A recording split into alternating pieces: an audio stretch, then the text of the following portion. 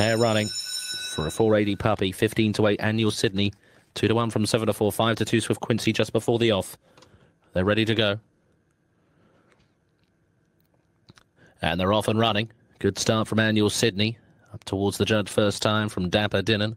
Then comes on the inside Swift Quincy out wide. Finds Calypso. I call Frankie moved off the inside, impeded five and two. Feel good shine. Up the back they go. Annual Sydney. Market leader was easy to back before the off, but leads clearly at the third bend for Kevin Hutton. We have Swift Quincy in second, looking to give Mark Wallace a treble on the card.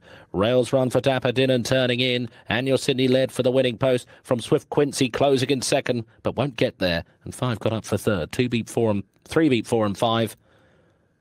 Annual Sydney beating Swift Quincy